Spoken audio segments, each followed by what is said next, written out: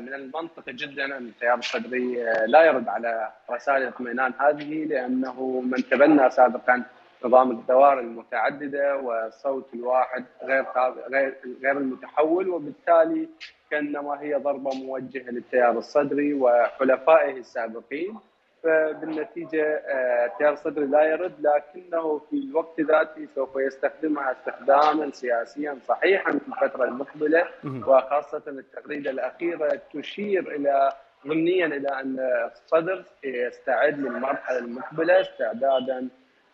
بكامل قواه وثقله السياسي والجماهيري. وبالنتيجة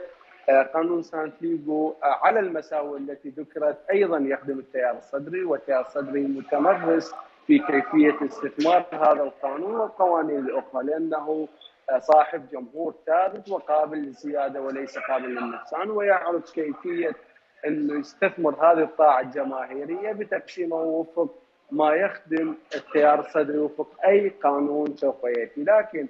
هذا القانون سوف يضر المستقلين ويضر الكتل والاحزاب السياسية الناشئة لكن في الوقت ذاته يمثل فرصة أيضا مثل ما يمثل تحدي لهم لأننا شهدنا خلال هذه السنة ونصف تقريبا من وصولهم أكثر من 40 نائب مستقل ومجموعة من الكتل الصغيرة من الأحزاب الناشئة شاهدنا أنهم فشلوا في تجربتهم البرلمانية لانهم لم يستطيعوا التوحد وتبني قضية طيب. واحدة على أقل تقدير كيف